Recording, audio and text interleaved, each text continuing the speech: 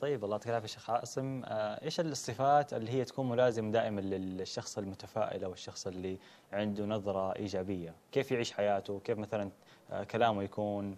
آه، كيف يعني يتعامل مع الناس؟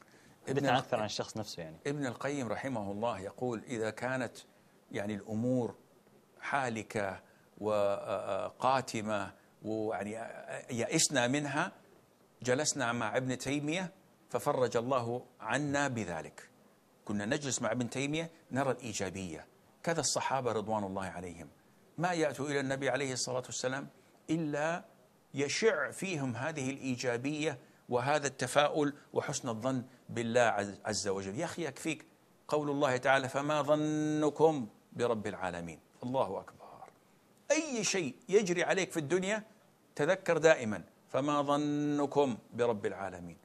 عندك حادث في السيارة عندك خسارة في التجارة عندك مشكلة صحية ما ظنك بالله عز وجل؟ ظني به الحسن.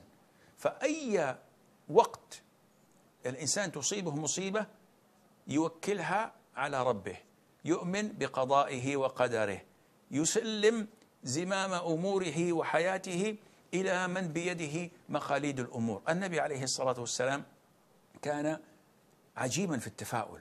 في غزوة خندق والقلوب بلغت الحناجر من الخوف والناس كلهم يعني يقول المنافقون أحدنا لا يأمن أن يذهب ليقضي حاجته. يبغى يروح الحمام ما يقدر. خوفا من الأحزاب الذين تجمعوا.